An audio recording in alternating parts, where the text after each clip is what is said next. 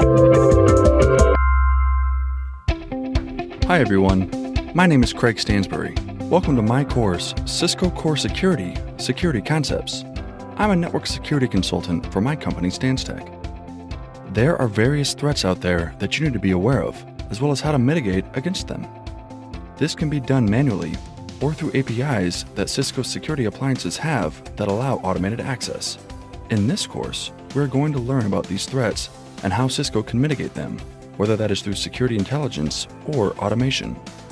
Some of the major topics that we will cover include the types of threats out there that can affect organizations, whether the devices are located on premises or in the cloud, what security intelligence is and Cisco's solution for it, as well as how to utilize APIs in order to interact with Cisco security appliances. By the end of the course, you'll know how to identify threats that can affect your network and mitigate against them using some of Cisco's security tools.